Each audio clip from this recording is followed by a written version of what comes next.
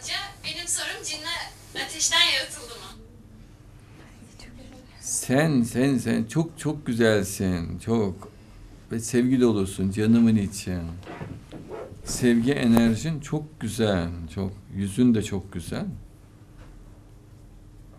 Yani bir kere karizman da çok hoş. Çok etkileyici kızsın. Allah sana uzun ömür, hidayet, sağlık, sıhhat, afiyet versin. Mutlu, güzel, bereketli bir ömürle inşallah yaşarsın. Cennette seni mutlaka Allah'tan istiyorum. Dost olarak, arkadaş olarak, sevdiğim olarak çok nefis güzelliğin maşallah. Evet, Kur'an'ın ifadesine göre öyle. Yani kendi ifadesi de var zaten. Beni ateşten yarattın diyor.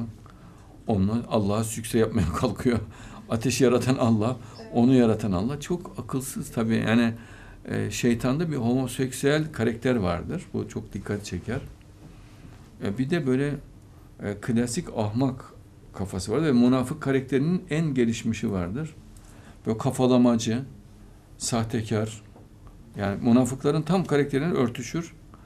Kendini haklı göstermeye çalışan, haklı göstermek için dini de kullanan, e, tipsiz, e, gıcık bir mahluk.